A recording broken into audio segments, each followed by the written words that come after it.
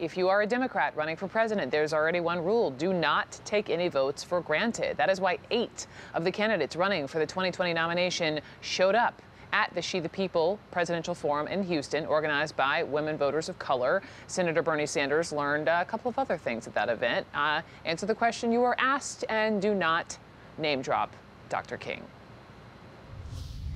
What do you believe is the federal government's role to fight against the rise of white nationalism and white terrorist acts? And how do you plan to lead on that in your first year as president? Okay. Thank you.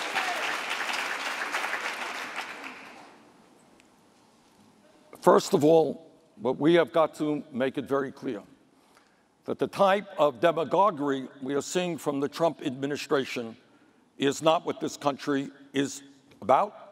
And I will do everything that I can to help lead this country in a direction that ends all forms of discrimination. The, the core of the, the question is about, as president, what would you do with the rise of white supremacist violence right. to protect our communities? Absolutely. You know, as somebody who I, I, know I date myself a little bit here, but I actually was at the March on Washington with Dr. King back in 1963. And as somebody who actively supported Jesse Jackson's campaign as one of the few white elected officials to do so in 88, I have dedicated my life to the fight against racism and sexism and discrimination of all forms. Sayu Bhojwani is the woman who asked the question. She is the former New York City Commissioner of Immigrant Affairs and is the founder and president of New American Leaders. So, Sayu, thank you so much for, for coming through. And you really asked the question. You even had to have an assist from on stage because it sounds like he wasn't answering your question. Were you satisfied with his answer? Uh, absolutely not. I certainly wasn't satisfied with the first part of his answer. I think that, you know, I came to that question because in my work with immigrant communities and with people of color, there's just this incredible sadness and fear that has developed over the last few years as we've watched churches being burned, as we watch our young people being killed by police, as we watch our young children being caged. And I brought to that question the weight and the feeling of so many of those conversations. And I didn't feel that we were being seen or heard in that answer.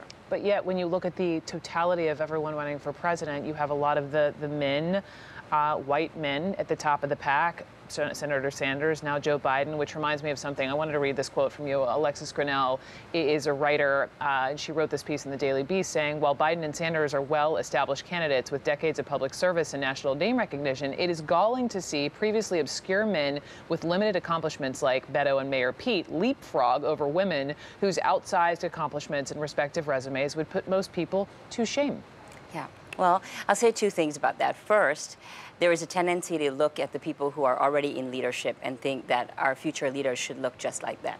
And so there is obviously, uh, we see a lot of white men in leadership, and we look at any white man and think that they too can lead. Uh, and forget that there are systemic reasons why white men are the people in power.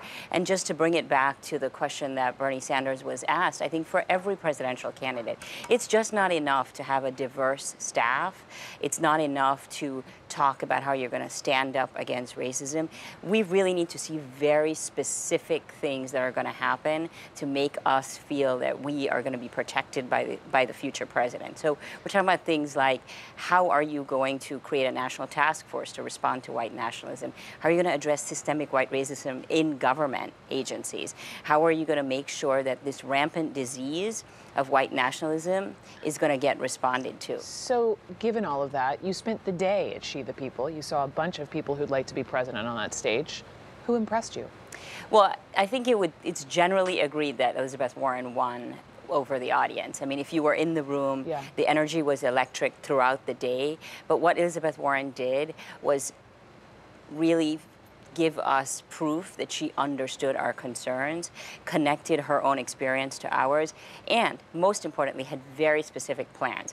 So we can't take voters for granted and assume that we can just talk in platitudes and generalizations. You want substance. She understood that. She brought it. Sayu, thank you thank so you. much.